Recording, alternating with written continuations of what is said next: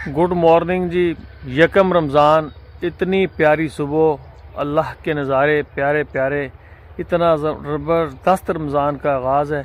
हर चीज़ खिली खिली सुनहरी सुनहरी सी, प्यारी प्यारी सी देखे हर तरफ़। ये देखें जी, आज यकम रमज़ान है, पहला रोज़ा है और मुझे उम्मीद है ये रोज़े जो है ना, अभी ठंडे ठंडे हैं। अभी तो इतना मसला नहीं है, ज़्यादा गर्मियों में कोई मसला बनेगा।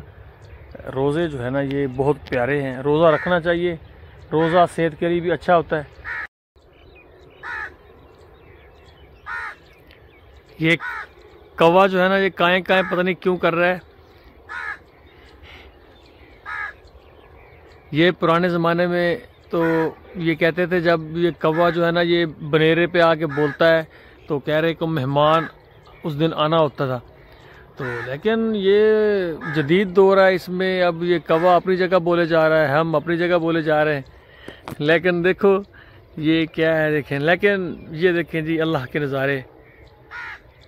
आज सूरज बहुत अपनी आबोताब के साथ निकला है, आसमान पे कोई बादल नहीं है, ये देखें, ये शगुफे निकल आए हैं, बाहर की आमद आमद है। तो ये बीहा जो है ना, वो कहते बीहा होता है, वो वो बोलता है, वो भी, उसकी भी आवाज़ आ रही है।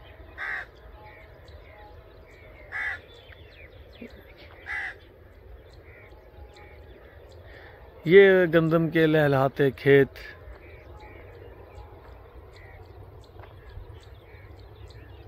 वो उड़ गया काम।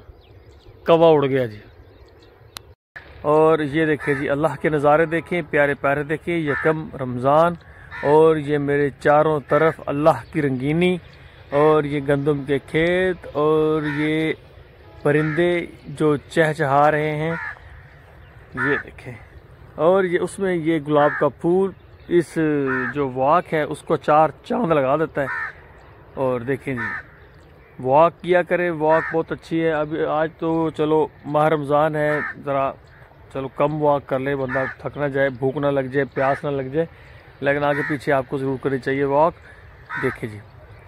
और देखें, अल्लाह ने आप खुश किस्मत हैं कि अल्लाह ने आपको एक और रमज़ान दिया है। हमने तो पिछले इस रमज़ान में अपने जो है मिस कर रहे हैं अबू जी को।